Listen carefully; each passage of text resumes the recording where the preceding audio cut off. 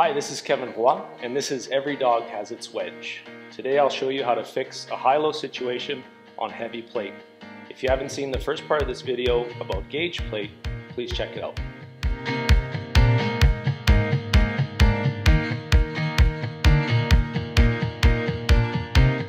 So these are the tools that I'll be using today.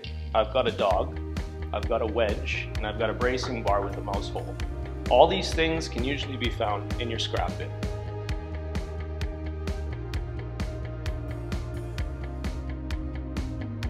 So what we're going to be doing is taking our dog and tacking it to our low side. We're going to take our wedge and drive it in to bring the high side down. Once we've got everything fit up, we'll put our brace on and weld it. So once again, before you get started, make sure you put on your PPE.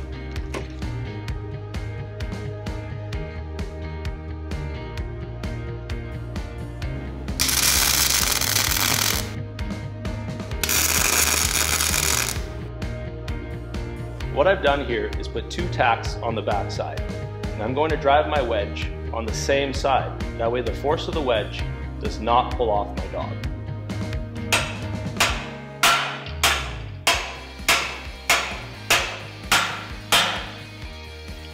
So once you got everything leveled out and you're ready to pull your wedge out, I'm going to show you a safe way to do it because there will be residual stress underneath your wedge.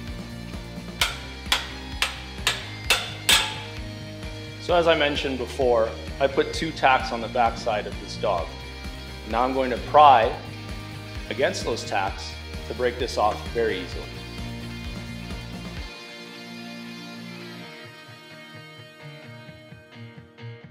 So in heavier situations, you might not be able to leave your dog and wedge on or trust your tacks to do the job.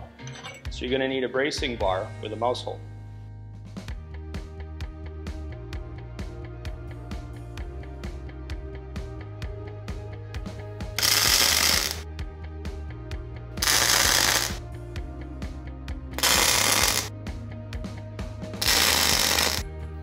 Once you've got your bracing bar on, you're ready to weld. What this hole is going to allow you to do is weld through the brace without having to remove it.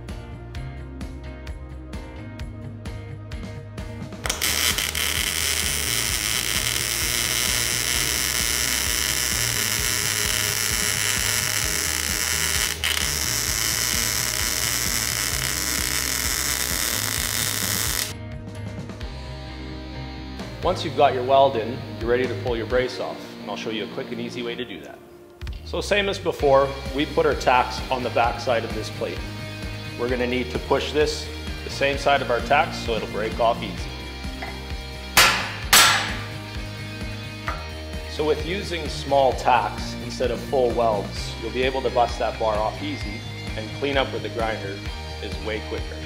So that's my way of showing how every dog has its wedge. I hope that this trick's helped you out a lot and made you more efficient and proficient.